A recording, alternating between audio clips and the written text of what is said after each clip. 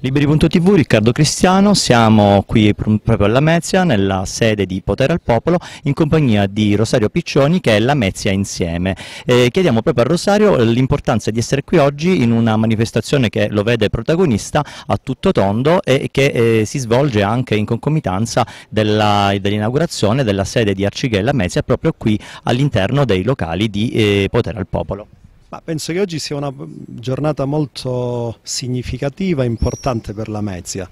eh, perché era ora che ci fosse anche qui una sede eh, appunto, locale di Arcichei e soprattutto che nascesse un circolo che portasse avanti quelle che sono le istanze eh, di persone eh, che, è bene sottolinearlo, sono assolutamente normali, persone eh, appunto con cui condividiamo ogni giorno la nostra vita, eh, che purtroppo sono vittime però a livello generale di una serie di discriminazioni assolutamente inaccettabili e intollerabili rinnovabili soprattutto eh, quando siamo nel 2018. Quindi ben venga questa iniziativa, io ho accolto subito l'invito che mi è stato rivolto di essere presente, penso che eh, tutti quanti, sia la politica che la società civile, dobbiamo fare la nostra parte e incoraggiare queste iniziative. Certo,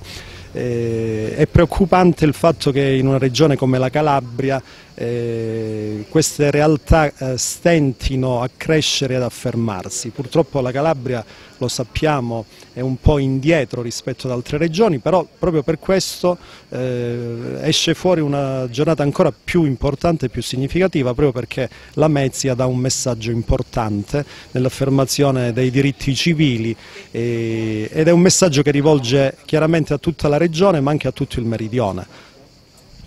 Un'altra domanda, eh, la Mezia, eh, almeno per quanto riguarda l'esperienza politica e associativa, in quanto mh, si è visto anche nelle altre eh, manifestazioni alle quali hai partecipato, penso anche a quella dell'inclusività delle persone disabili fatta da, da, pochissimo, quanto è accogliente sia per le persone eh, disabili, ma pensiamo semplicemente a una persona che ha un orientamento sessuale diverso e che comunque non vuole essere discriminata, quindi parliamo anche di omofobia.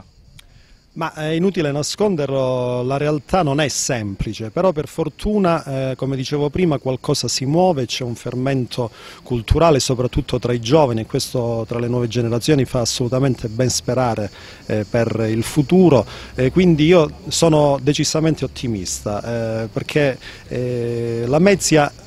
alla fine in Calabria, la Calabria in Italia, quindi riflette un po' quello che è il clima nazionale. Ci sono eh, messaggi di intolleranza e di eh, ostracismo nei confronti delle comunità eh, gay, transgender, lesbo, eccetera, eccetera,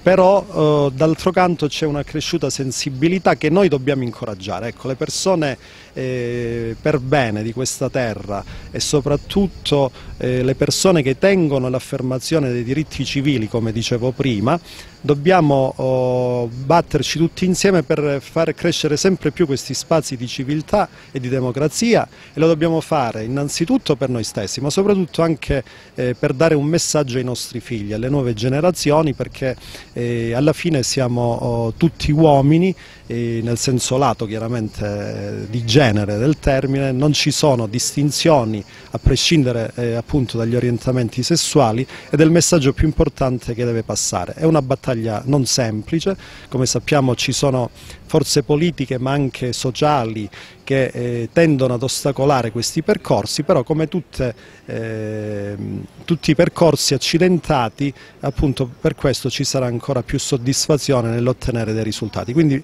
grande merito ai giovani di Lamezia che hanno voluto portare avanti questo progetto e per questo dicevo che oggi è una giornata, se vogliamo, anche storica per la nostra città.